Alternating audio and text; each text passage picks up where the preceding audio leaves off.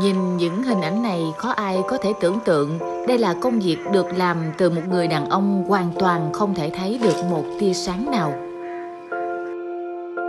Đó là câu chuyện về hoàn cảnh của chú Nguyễn Hữu Tài, 50 tuổi, ngụ khu vực Bình Phước, phường Phước Thới, quận Ô Môn, thành phố Cần Thơ. Đã 34 năm trôi qua, chú Tài phải sống trong cảnh mù lòa. Tai nạn khi lao động mấy mươi năm về trước đã lấy đi đôi mắt sáng và khiến cuộc đời chú trở nên cơ cực.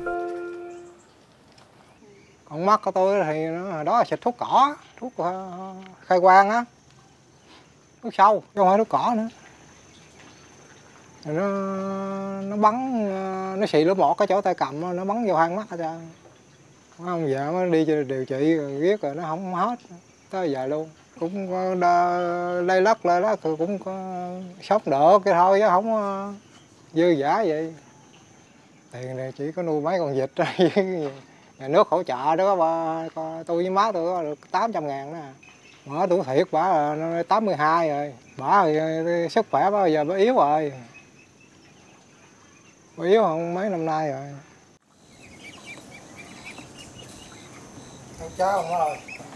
Hiện tại, chú Nguyễn Hữu Tài đang sống cùng với người mẹ già 82 tuổi của mình. Nhà chỉ có hai mẹ con, lại không ruộng đất. Chú Tài cùng mẹ sống nương tựa lẫn nhau, cùng với vài ba nắm gạo đắp đổi qua ngày. Mùa nước nổi những ngày nay khiến nền đất của căn nhà nhỏ bị ngập nặng. Sinh hoạt trong bóng tối vốn đã khó khăn, nay càng chồng chất hơn. Mặc cho cái bướu ở vùng cổ tồn tại trên thân thể mình suốt mấy năm nay, chú Tài chẳng biết gì đến những chuyện thăm khám, thuốc thang cho mình. Điều chú lo là mẹ của chú ngày tuổi cao sức yếu. Thời gian này, đôi chân và lưng bà đau nhức, chẳng thể làm điểm tựa cho chú như xưa. Đôi mắt tuổi 82 của bà cũng dần giống như chú, chẳng còn nhìn thấy rõ được gì.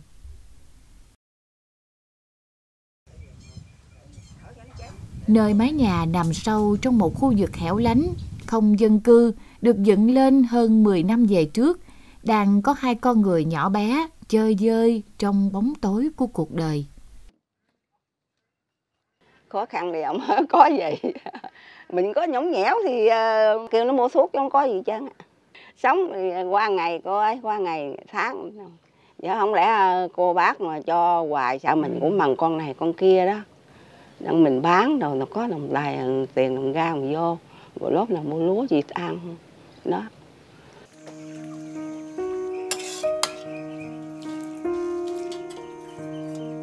cháo trắng ăn cùng với đường là bữa ăn thường xuyên của hai mẹ con chú Tài.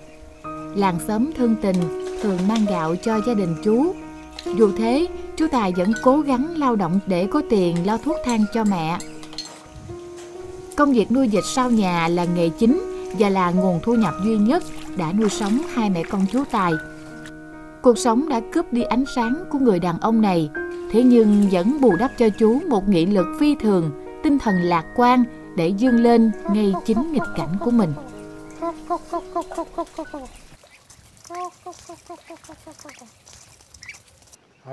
Dịch thì dễ nuôi hơn ờ, cái con gì hết trơn á, chứ bông lại rồi nhốt rồi thả đại nó cho nó ăn à. Cái cái nhà cái cái, cái máy ờ, lợp đó thì tôi với, với lưới đó tôi làm không chứ. Là cho nó ở đỡ vậy thôi chứ đâu làm chính thức cho nó ở đâu dịch nuôi khó, đâu có khó gì đâu. Tôi thấy không có khó hết trơn nuôi dịch thì tôi có dư tiền để dành ờ, gom gom lại cho, lo cho bà già thôi chứ đâu có làm gì nữa. Còn bây giờ xin mời quý thính giả cùng đến với nhạc phẩm Mừng tuổi mẹ của tiếng hát của Quân Bảo.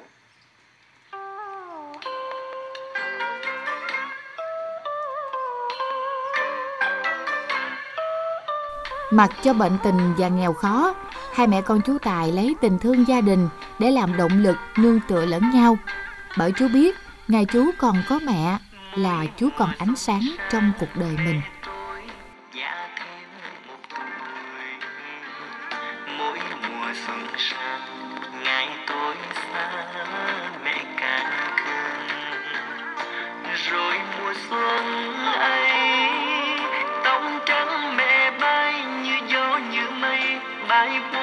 đời con như gió như mây bay qua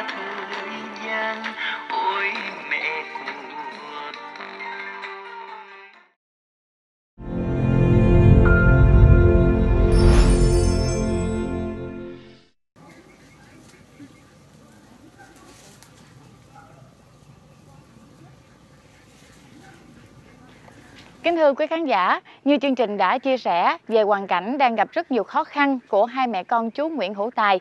Ngày hôm nay chương trình chung tay kết nối cùng với các mạnh thường quân và các nhà hảo tâm đến thăm để san sẻ phần nào hoàn cảnh của chú cũng như là có sự hỗ trợ kịp thời đến gia đình của mình.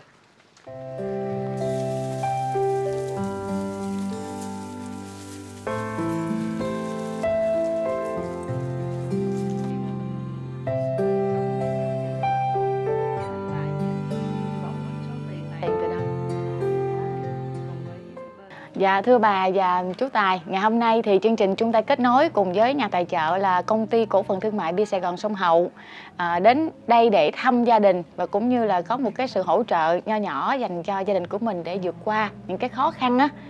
À, thì cũng xin được à, giới thiệu với bà và chú Tài. À, đây là bà Khưu Kim Xuyến là giám đốc của công ty cổ phần thương mại Bia Sài Gòn Sông Hậu ạ. À. Đi cùng với đoàn thì cũng có đại diện của bên Hội Chữ Thập Đỏ quận Ô Môn, à, các mạnh thường quân à, và bà con xóm giềng hôm nay cũng ghé thăm gia đình của mình đó bà. Ừ, dạ. Thì à, ngay bây giờ thì xin được à, mời bà Khu Kim Xuyến đại diện cho công ty cổ phần à, thương mại bia Sài Gòn Sông Hậu sẽ trao số tiền là 20 triệu đồng đến cho gia đình của mình.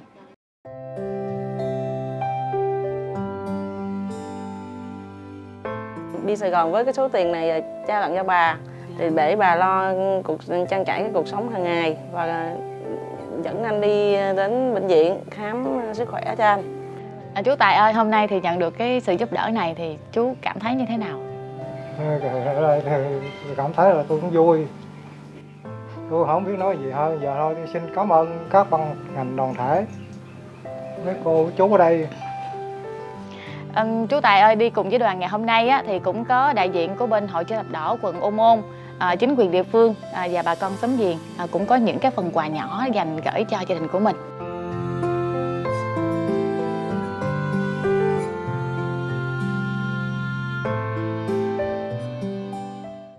Thưa quý khán giả, trước hoàn cảnh khó khăn của chú Tài và mẹ của mình, với sự hỗ trợ của chương trình chung tay kết nối ngày hôm nay cũng chỉ có thể giúp cho gia đình của chú vượt qua được hoàn cảnh khó khăn trước mắt. Và chúng tôi hy vọng là tiếp sau chương trình này, hoàn cảnh của chú Tài sẽ tiếp tục nhận được sự chung tay giúp sức từ các nhà hảo tâm và các mạnh thường quân. Đến đây thì chương trình chung tay kết nối xin được phép tạm dừng. Và Nguyên xin được cảm ơn Tổng công ty Bia rượu nước giải khát Sài Gòn, công ty cổ phần thương mại Bia Sài Gòn Sông Hậu đã đồng hành cùng chương trình. Xin kính chào tạm biệt và hẹn gặp lại.